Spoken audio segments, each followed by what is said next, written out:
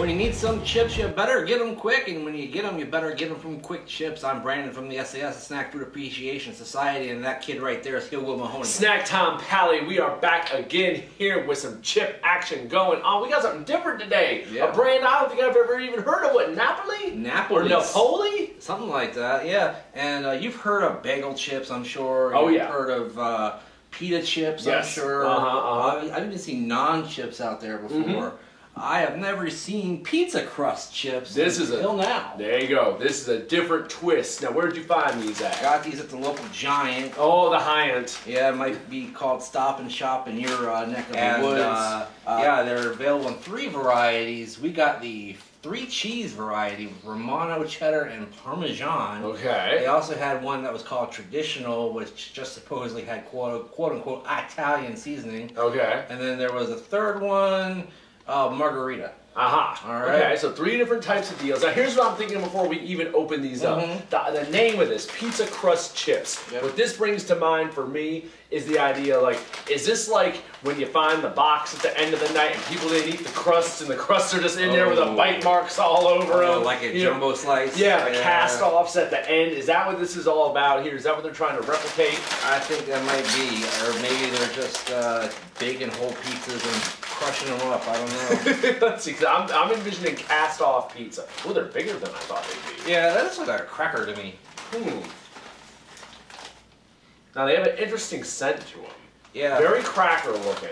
definitely, and very cheesy, and kind of like that feet cheese smell. You know Yeah. what I'm saying? It's definitely very pungent. Yeah, like like like you've been wearing the same socks for a Yeah. few days. Or something. Not something. exactly enticing. No, No, not not the cheese scent I was hoping for. But if you're if you're one of these rich people that eats the smelly cheese, then you know maybe you like it. yeah, well, I don't like the smelly cheese. Yeah. So well, let's see. These are no, they're not greasy really or anything. There's a lot of coating on them. I don't know. Powder. Let's see. Crunchy.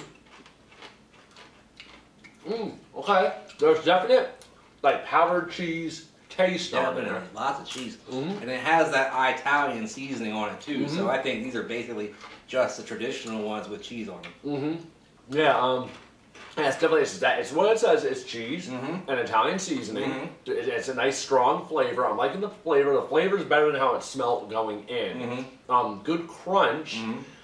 Um, the crust or cracker or chip or whatever you want to call this itself, Yeah, not too excited about that part. It's just kind of there. it's bland. Yeah. Uh, you know, other than the Italian seasoning and, Yeah. and the cheese part. Um, does it remind me of pizza crust though? No. It reminds me of a cracker. Yeah, Yeah. definitely. Totally, just like a cracker. Just like an Italian cheese cracker.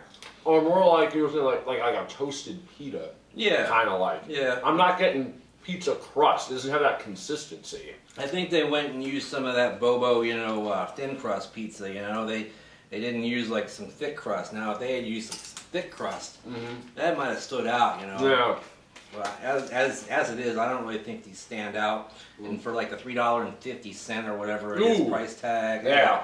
Not too excited about these. Yeah. For 350, there needs to be a lot more going on here. But I like the cheese flavor. Mhm. I like the uh, the Italian seasoning flavor. I just don't like the delivery method. So, and that price point, that's got to knock it down a little bit too. Not horrible, but I can't really see going back to these. And after having a couple, I really kind of dry your mouth out. They're all like up in the nooks and crannies, and that cheese powder's all over. Um, I was gonna say maybe two thirds, but I think I gotta knock it down even further. I think I gotta go half. Just kind of, yeah. I don't think I want to go back to him. Nah, yeah, I'll, I'll go a little higher than that. I'm gonna go two thirds. What he was said he was going to, No. to give it because they're all right. And you know what?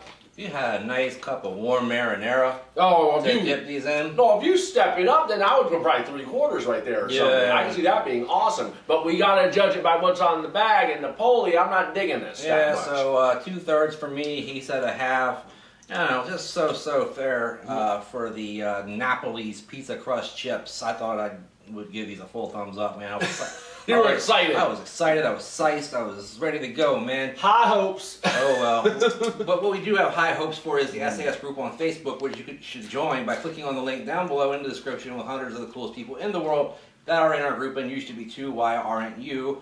Also follow us on Twitter and Instagram at Brandon Ryche SAS and at Heel Will Mahoney. Yes, indeed. Take those handles at Brandon Ryche, SAS, and at Heel Will Mahoney. Use them on Twitter and Instagram. And when you do, whenever you're talking about what you're snacking with us, always use hashtag Snack Society all day, every day, so I can scream from the mountaintops about what the people of the world are enjoying and let all the social media universe know. When you do that, you join the most exclusive group in wrestling, baby. You join the Four Horsemen of YouTube, baby. Like, favorite, share, and most especially subscribe, Mm-hmm. subscribe, subscribe. In the meantime, in between time, we'll see you next time. Bye bye. Bye. Yo.